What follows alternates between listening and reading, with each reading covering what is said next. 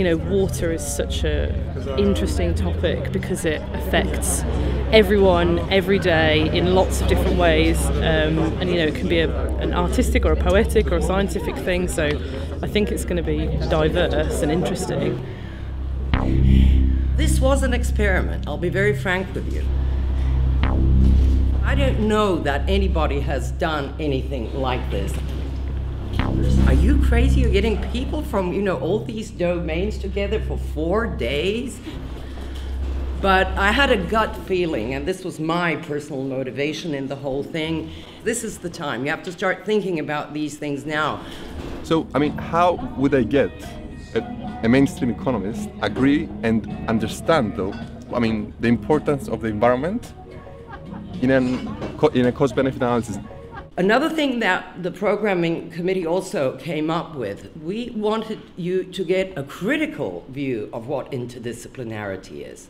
And you got it from the invited speakers. In a sense, they provided the backbone to the whole thing. They were not unanimous in their views. Uh, you got different viewpoints, and this is exactly what we wanted.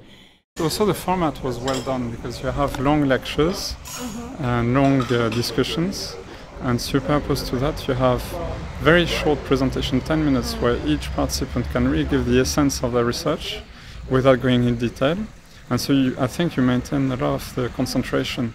I wasn't expecting to have such in-depth conversations about interdisciplinarity. The short talks were very wonderful. Most of the speakers and the invited speakers actually have um, applied their theoretical knowledge in the field. We wanted uh, you to start thinking about how research is changing, the questions. I think the thing that struck me was the, the speed at which we should maybe do our research. Only 5% of Research Council funding goes to to interdisciplinary projects. Each one of us is becoming more knowledgeable. For me, I'm quite inspired now to go back and work, so I'm like thinking about skipping the weekend and just start with my ideas now.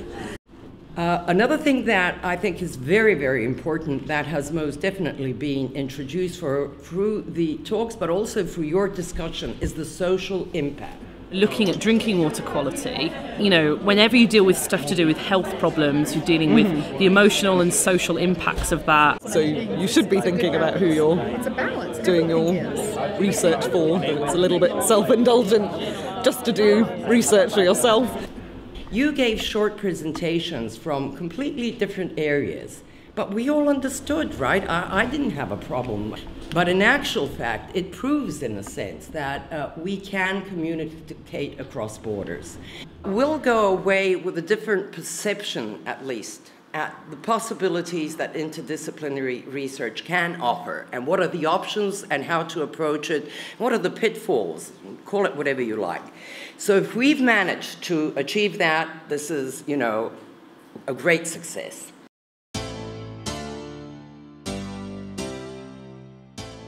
I would say it's one of the best conferences I've been to.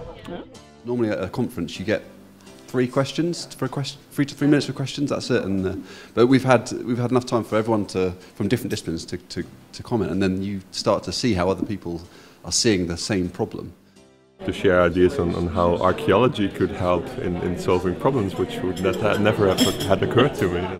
This is allows you to actually learn about what other people are doing and then if you have more questions you go ask the person who has done the actual research at the beginning you have to talk about expectations that's very important i think also in the interdisciplinary environment because the expectations are completely different it's, it's definitely been different from any expectations i had uh, it's been actually a lot more progressive than I thought it was going to be. Since I'm a scientist, I was really interested in people from the social sciences and humanities, which are an area where I don't know much. Wide, wide variety of talks. Everybody's presented well. Good communicators. Excellent decision making on who came.